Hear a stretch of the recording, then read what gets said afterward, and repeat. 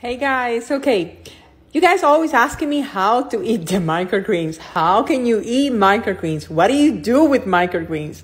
You don't need to do anything special. You just can put it together in a little bowl and eat it. I don't like to add any dressing on my salad because I love the flavor of vegetables.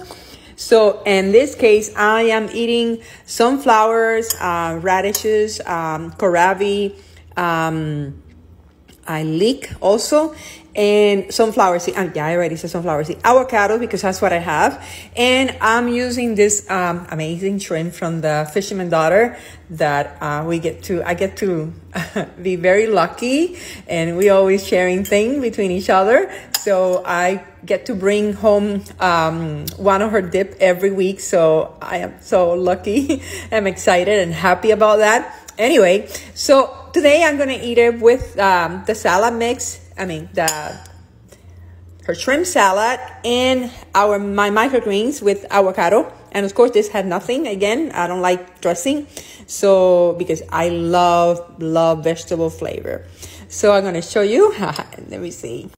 Okay, so you put it together right here like this, and you uh, shove it in your mouth. Let me show you. Shove it in your mouth like this. Ah, ah, ah, um.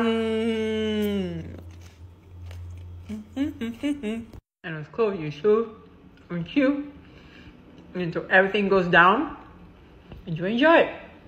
You can eat macaroni any way you want to. Not that nothing, not on a special occasion, not um, a special dish. You just can eat it the way you want it however you want it, whenever you want it. You don't need any excuse to eat microgreens. Anyway, thank you for being there. Be happy. Follow your bliss.